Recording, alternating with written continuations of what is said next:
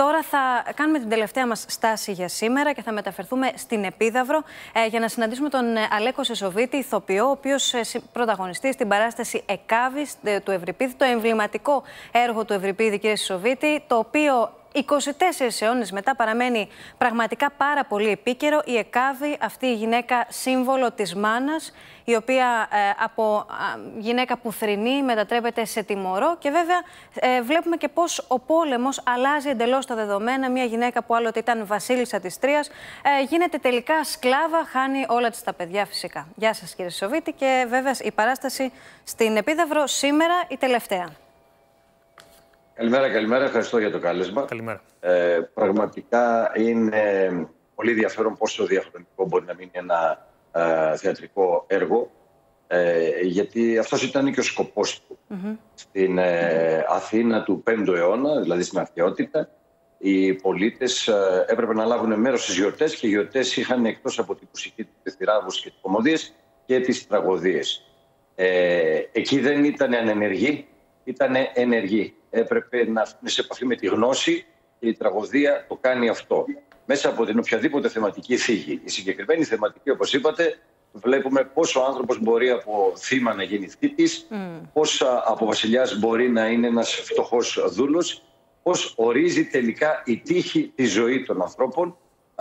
Και για την εποχή εκείνη ο Ευρυπίδης αφισβητούσε και την ε, πίστη στους θεούς, έβαζε την τύχη πάνω από αυτούς. Οπότε το πεπρωμένο ε, φυγή είναι αδύνατο, όπως mm. λέμε. Και καλό είναι να παίρνουμε το μάθημά μας από ένα τέτοιο έργο, να μην έχουμε πολύ μεγάλη έπαρση, να προσέχουμε πώ ε, κινούμαστε στη ζωή και πώς φερόμαστε στους άνθρωπου. Είναι πολύ σωστό αυτό που λέτε, γιατί πρέπει να είναι πάντα διδακτικό. Ε, και είναι και πάντα διαχρονικό. Εσείς υποδίεστε τον Αγαμέμνονα, κύριε Σισοβίτη, σωστά; Σωστά, σωστά, βέβαια. Τι είναι αυτό που κάνει ξεχωριστό το ρόλο σας στο έργο και τι, με ποια συναισθήματα σας υποδέχθηκε και το κοινό την πρώτη μέρα της παράστασης χθες; Να ξεκινήσω από τα συναισθήματα. Ήταν ενθουσιώδη το κοινό. Ε, χαιρόμαστε ιδιαίτερα γι' αυτό, γιατί πραγματικά μπορέσαμε να κοινωνήσουμε το έργο. Ο στόχος mm. μας ως καλλιτέχνη είναι να περάσουμε το μήνυμα του Ευρυπίδη. Ο Αγαμένονα στον Ευρυπίδη είναι ένας θετικός χαρακτήρας, κάτι που δεν ήταν στον Ισχύλο, γιατί ο κάθε συγγραφέας χρησιμοποιεί τη μυθολογία mm. για να κάνει μια πολιτική νήξη, να μιλήσει στους πολίτες μιας πόλης μιας χώρας. Τότε ο Ευρυπίδης το 424, που η Αθήνα ήταν μέσα στον Πολυπονησιακό πόλεμο, χρησιμοποιεί τον ηγέτη των Ελλήνων ως δικαστή μέσα στη μεγάλη αντιπαράθεση που έχει η Εκάβη με τον Πολυμίστορα. Αυτή που χάνει το παιδί της και ο Πολυμίστορας όπου το θανατώνει για να πάρει τα λεφτά που είχε ο μικρός.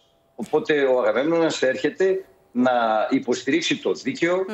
τους νόμους, την ηθική, αξίες σημαντικές, να συμπαρασταθεί να συμπονέσει την ΕΚΑΒΗ και παρόλο που είναι εχθρός της, παρόλα αυτά να ξεπεράσει αυτή την εχθρότητα και να τιμωρήσει τον άδικο πολυμίστορα. Οπότε βλέπουμε ότι η χρήση ενός μεγάλου ηγεμόνα σε τέτοιου είδους αποφάσεις είναι πάρα πολύ σημαντική.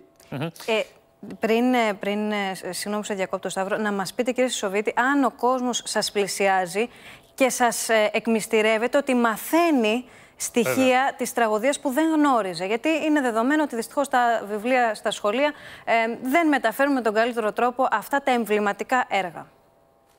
Αυτός είναι ο λόγος που έρχονται και στο θέατρο. Η γνώση, όπως σωστά λέτε, πραγματικά ο κόσμος έρχεται με ενθουσιασμό ε, γιατί έχει λάβει κάτι παραπάνω από αυτά που ήξερε.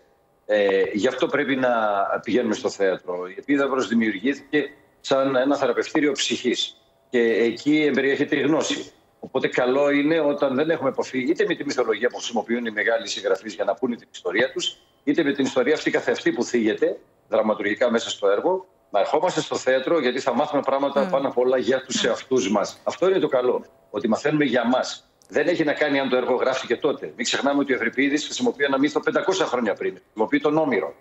Ε, Οπότε ε, αυτό που γίνεται είναι η επικοινωνία ενός μεγάλου δραματουργού με το λαό αυτόν καθεαυτό.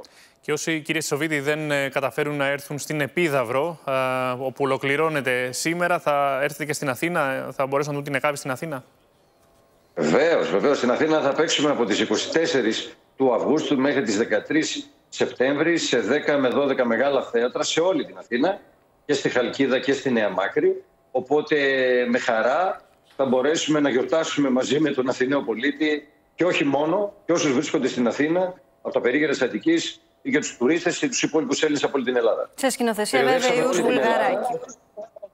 Ναι, ναι, ναι. Περιοδεύσαμε πήγαν από όλη την Ελλάδα, από την Αλεξανδρούπολη, φτάσαμε μέχρι κάτω την Καλαμάτα. Οπότε τώρα μένει η Αττική. Η σκηνοθεσία είναι της Ιούς Βουλγαράκη, όπως σωστά είπατε. Η μετάφραση της κυρίας Βαροπούλου. Το βασικό ρόλο πρέπει να πούμε ότι τον παίζει η Ελένη Κοκίδου, όπου κάνει μια τρομερά σημαντική δουλειά πάνω σε αυτό το πολύ δύσκολο ρόλο. Έναν από τους τρεις, μαζί με την ίδια και την Αντιγόνη, δυσκολότερους mm. και την Ηλέκτρα ε, της αρχαίας τραγωδίας.